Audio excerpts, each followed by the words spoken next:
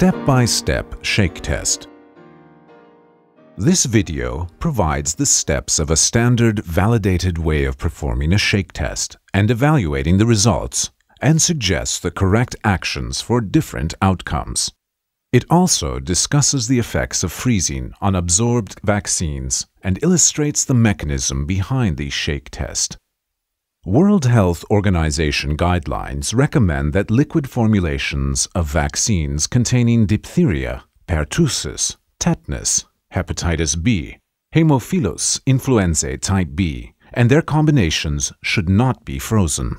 Freezing of these aluminum-based adjuvant vaccines provokes loss of potency and, as a consequence, can result in compromised protective immunogenicity in recipients.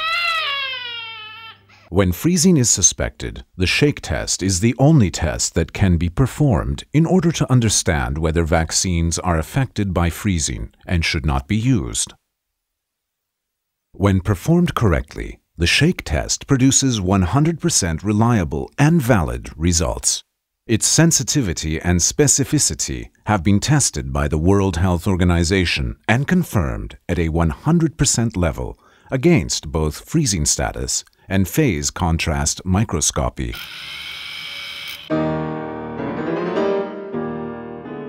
When to conduct the shake test. The shake test should be conducted when freezing is suspected. Freezing can only be suspected when temperature monitoring devices are checked. A freezing alarm can usually be found in electronic temperature monitoring devices accompanying international shipments.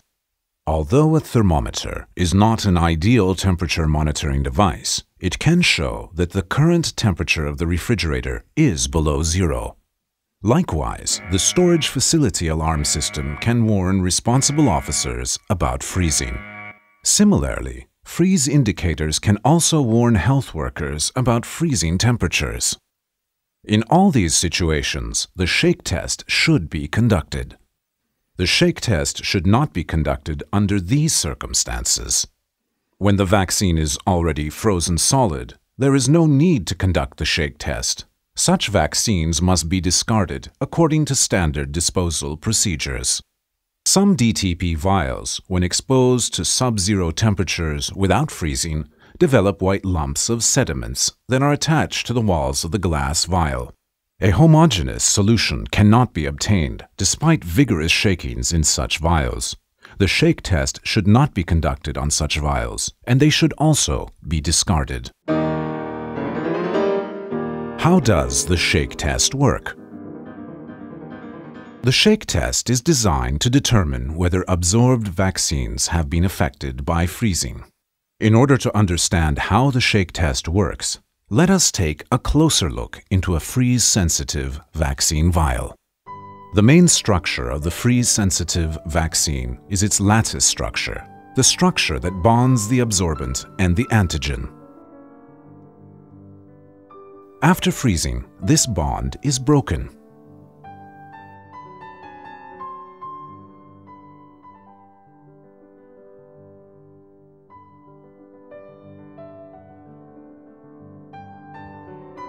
Separated absorbent tends to form granules that get heavier in weight and bigger in size.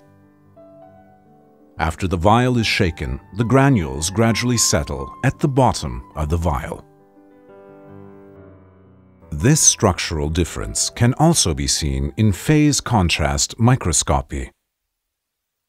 Following shaking, sedimentation occurs faster in a vaccine vial that has been frozen compared to a vaccine vial of the same antigen and batch from the same manufacturer that has never been frozen. It is simply physics. A solution with heavy particles sediments faster. The shake test is about observing the sedimentation rate between a suspected vial and a vial that has been purposely frozen and used as a control vial. Step by step, how to conduct a shake test. The WHO has developed a standard shake test learning guide that can also be used as a checklist. The steps described in this guide must be followed thoroughly. The first step in conducting the shake test is to prepare a frozen control vial. Take a vial of vaccine of the same type and batch number as the vaccine you want to test. It should also be made by the same manufacturer. If more than one batch is in question, a frozen control sample should be prepared separately for each batch, and each batch should be tested with its own control sample. This vial must be clearly marked as frozen. Place the vial in the freezer compartment of the refrigerator overnight until its contents are completely solid.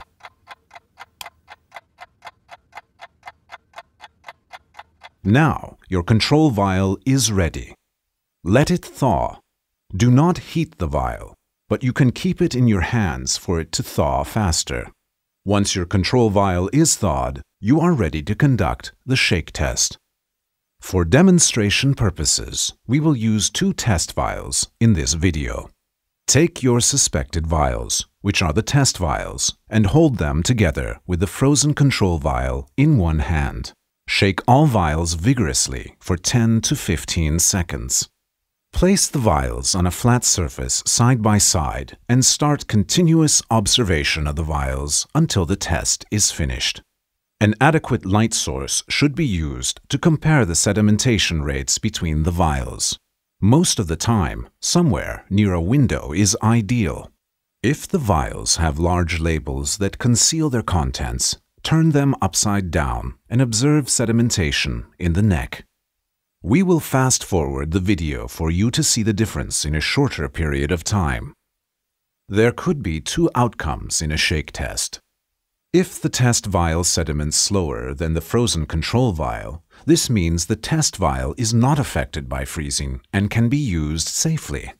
If the sedimentation rate is similar in both vials, or if the test vial sediments faster than the frozen control vial, this means that the vaccine has been affected by freezing and is damaged. Let's see it again. The vaccine on the left side of the control vial is sedimenting at a similar rate as the frozen control vial. This vial has been frozen and is affected by freezing. This is a fail result. The vaccine on the right side of the control vial is sedimenting slower than the frozen vial.